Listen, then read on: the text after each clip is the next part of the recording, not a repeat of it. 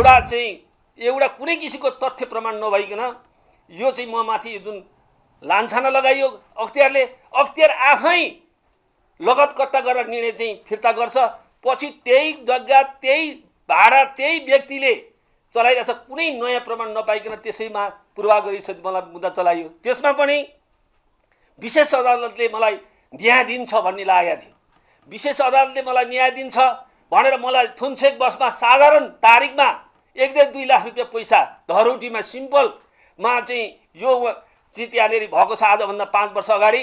आजसम्म विशेष अदालतले अहिलेसम्म यो तिनवटा एउटै व्यक्तिलाई तिनवटा सजाए बिगो बिस करोड धरौटी के अरे चाहिँ धरौटी के अरे ऊ जरिमाना अनि कैद नौ वर्ष छ महिना इतिहासमा पहिलोचोटि विशेष अदालतले यसरी पूर्वा गई एउटा चाहिँ मेरो राजनीति मार्ने किसिमले ड्यामेज गर्ने किसिमले यसरी चाहिँ फैसला आएको हुनाले आज तपाईँहरूको माझमा मैले आफ्नो कुराहरू राख्नुपर्छ भनेर मैले पत्रकार सम्मेलन गरेको।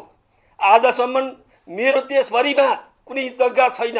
आजसम्म मेरो देशभरिमा ब्याङ्कको ब्यालेन्स छैन। म मेरो चाहिँ म गाउँमा भाइको घरमा शरणार्थी बस्छु। आजसम्म म डेरामा बसेको छु। डेराको भाडा तिर्न सकेको छैन। त किनभने हिजो तराईको आन्दोलन हुँदै गर्दा चुरे भावर राष्ट्रिय एकता पार्टीले चुरे भावर प्रदेशले यो राष्ट्रियता राष्ट्रिय स्वाधीनता र अखण्डताकोमा जीवनभरि मैले लडाइँ लडिरहे। चाहे नाकाबन्दीका कुरा हुँदा लडी चाहे तराईमा आगो बोलेको बेलामा लडी त्यो राष्ट्रियताको मुद्दामा लडिरहँदाखेरि आज बाह्य शक्ति भित्री शक्ति सबै लाएर मेरो राजनीति पूर्वाग्रह राजनीतिलाई सिद्ध्याउन खोजेको छ। आदरणीय बन्धुहरू मसँग मैले अब न धरौटी राख्न सक्छु न म त्यति के अरे जरिमाना तिर्न सक्छु मैले कहाँबाट के गरेँ? यस्तो पनि पूर्व गई राजनीति ड्यामेज गर्ने किसिमको भयला आएको हुनाले भयलाले त मैले बाँड्नै पर्छ। तर पनि मैले त्यहाँ सर्वोच्च अदालतमा जानको लागि मेरो कुनै हैसियत छैन। यिनै कुराहरू यसरी पूर्वाग्रही यसरी राजनीति ड्यामेज एउटा राष्ट्रको ओतप्रोत भएर देश र जनतालाई सेवा गरेर एउटा तराईकोमा एउटा राष्ट्रिय अखण्डताको विषयमा म लडिरहेको एउटा चाहिँ युवा। मैले त त्यहाँबाट कसरी नोक्सान गरी एक लाख पचहत्तरलाई पाँच पचपन्न गरी त्यसपछि कार्य समिति विभिन्न मन्त्रालयका सबै साथीहरू के अरे उपसचिवहरू राखेँ मन्त्री परिषदमा लगेँ एक पचहत्तरलाई पाँच पन्न दुई सय पर्सेन्ट बढाउँदा हानि नोक्सानी हुन्छ। यसरी चाहिँ पुरा गरिराखेर मेरो म प्रति गरेको हुनाले मैले यो प्रेस मिट राख्न बाध्य छु। मलाई भोलि आम नेपाली जनताले आम नागरिकले सबैले घर घरबाट चन्दा आर्थिक सहयोग गरेमा म त्यो निमित्त पाउँछ नत्र भने मेरो कुनै उपाय छैन। यसरी यसरी पूर्व गरी राजनीति गरे के अरे चाहिँ फैला आयो अख्तियार लगायो यही बिचमा आम मेरो मेरा सम्पूर्ण नेपाली जनतालाई पनि बुझाउन चाहन्छु।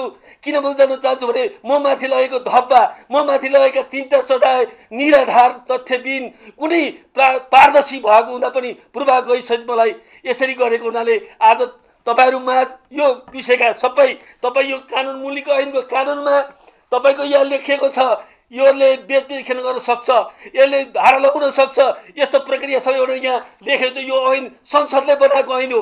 यो ऐनमा मैले टेकेर गरेँ गल्ती गरेँ मैले योभन्दा तपाईँको हरेक प्रमाण छ टुकुचा पर्यटन बोर्ड कार्य समितिले दिएको हरेक फाइलको यादीहरूसम्म छ। यसको आधारमा मैले मैले अन्याय गरेँ नोक्सानी गरेँ त्यो ठेकदारले चाहिँ ठेकदार जसले चाहिँ मैले समाधि अव अवधि बढाएको। मैले सम्धि समाधि कसरी भने दस वर्षदेखि एक लाख पचहत्तर लागिरहेको थियो। त्यो लागेकोलाई हरेक ठाउँमा ट्रान्सपोर्टिङ गरेर एक पचहत्तरलाई पाँच पचपन्न गरेर मन्त्री परिषद लगेँ। मेरो मैले गल्ती गरेँ। यस्तो पनि भएला यस्तो चाहिँ आरोप किन लाग्यो भने म एउटा राष्ट्रको लागि यो जनताको लागि चुरे भावर भएर यो मुलुकलाई जोगाउँदाखेरि मैले एक रुपियाँ सुको खाएको मेरो बैङ्क ब्यालेन्स हेरियोस् मेरो जग्गा हेरियोस् काहीँ कुनै देशभरिमा अन्तर्राष्ट्रियमा काहीँ रहेछ भने तपाईँहरूले मलाई सजाय दिनुहोस् तपाईँहरूले लेख्नुहोस्। होइन भने यतिको चाहिँ देशभरिको सुकुमबाजी केही नगरेर राष्ट्रियतामा लड्ने मान्छेलाई आज मलाई यसरी चाहिँ राजनीतिक ड्यामेज गर्न खोजी पूर्वाग्रही गर्दाखेरि तपाईँहरूले यो बिचमा जनताको बिचमा समाचार सम्प्रेषण गरिदिनुहुन्छ भनेर मैले प्रेस मिट गरेको। मेरा कुरा यी नै हुन्। अब मैले योभन्दा बढी भन्न सक्ने अवस्थै छैन।